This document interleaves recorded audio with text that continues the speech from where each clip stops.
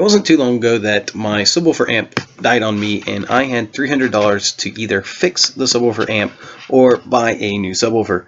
And it was about that time where I really started looking for subs under the $300 range and it was impossible to find a good one.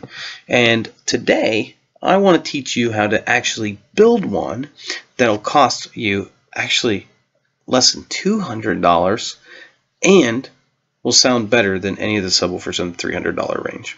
Stay tuned, we're going to get started. It's a dual passive radiator, 8 inch subwoofer, and the build starts now.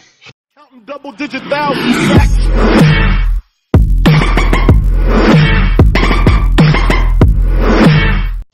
Alright guys, all the parts that we used were actually purchased from Parts Express. Now I put links down in the description to all the parts. That way you can make your own.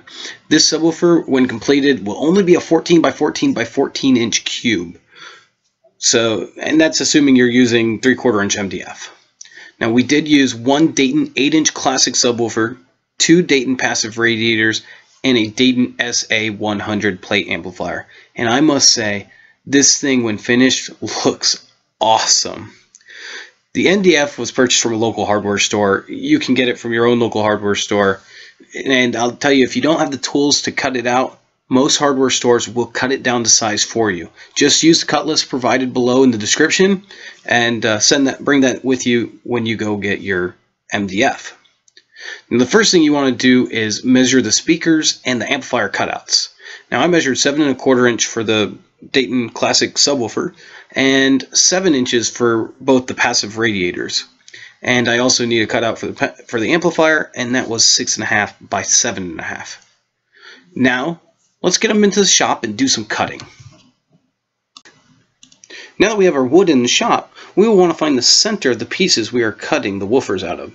To do this, we just find a straight edge. In my case, I found a leftover piece of MDF, and I lined it up to each of the corners to draw a straight line. Now, where they intersect is the center. Now, we need to find the center on the three pieces that we plan to put the subwoofer and the two passive radiators, and this is to make sure that our circle when we cut out is directly in the center. So I put mine on my subwoofer and the passive radiators on all the three sides. And I put the plate amp on the other four sides. This way the air gets excited all around the subwoofer in every direction. Plus, it looks really awesome. Now, it's time to set up our circle jig. Now, I'm using the Jasper 200 to make perfect circles for the woofer and the two passive radiators. Once I finish with these, uh, it's time to move on to the back plate.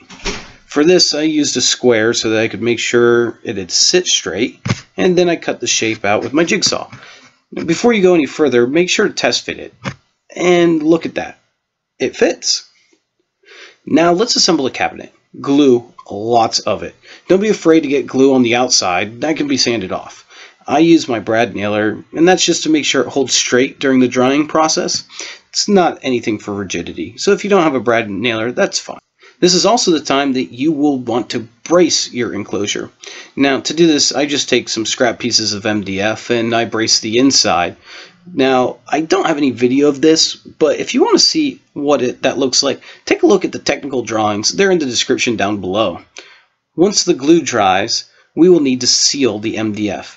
In this video I'm using a combination of wood glue and water. It's about a 50-50 mix and some Bondo.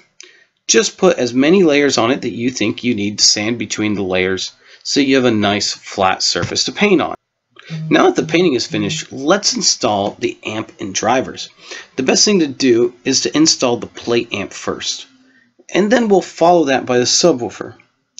This gives us plenty of room to make sure that we can plug up the subwoofer and everything fits nicely inside. Next, we need to put the passive radiators in. Now it's starting to look really nice. But we're not quite finished. I didn't want the subwoofer moving on me, so I installed a few rubber feet. Now that looks about right. Let's go test it out. Boy, this thing is loud and tight. Exactly the way I like my bass to be. It was I was actually able to squeeze 106 decibels out of this thing. That's crazy to get from an 8 inch subwoofer, especially in a room. And that was testing it inside my theater room, which is 25 feet long by about 12 feet wide. It's a huge space to get 106 decibels from.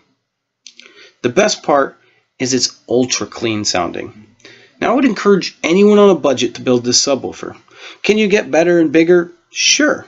Can you get better and bigger for about $200? I don't think so. This is an absolutely amazing subwoofer for the price. So please, go ahead and build the subwoofer. Description down below is all the parts that you guys need. Thanks for watching. As always, please, if you like this, give it a thumbs up. And as always, subscribe and share it with your friends. Counting double digit thousands.